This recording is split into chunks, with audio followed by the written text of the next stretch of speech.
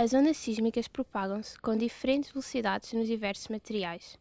Neste modelo simplificado de duas camadas, duas frentes de onda são geradas ao mesmo tempo, mas a propagação na camada inferior é mais rápida. Quando uma explosão ou pancada ocorre junto à superfície, as ondas sísmicas propagam-se em todas as direções. No meio uniforme ou homogéneo isotrópico, os trajetos dos raios sísmicos são linhas retas que partem da fonte. Mas o que acontece quando as ondas encontram uma fronteira entre duas camadas com velocidade mais baixa e com velocidade mais elevada?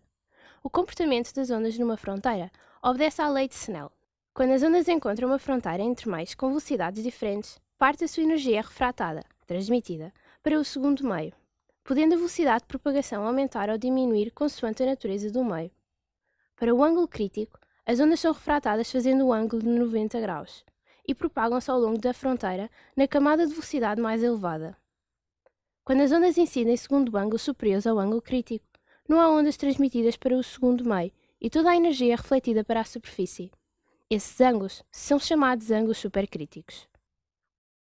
Ondas incidentes segundo ângulos menores que o ângulo crítico, denominados subcríticos, são transmitidos para o segundo meio, mas continua a ocorrer reflexão.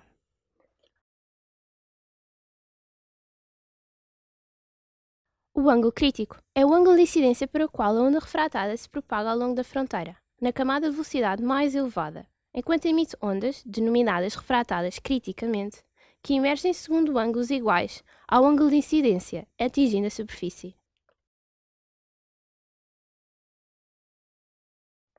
Quando olhamos para todas as ondas, vemos que, a partir de uma determinada distância, uma onda que se propaga criticamente pode chegar à superfície antes de uma onda direta que se propague na camada de velocidade mais baixa, segundo o trajeto mais curto.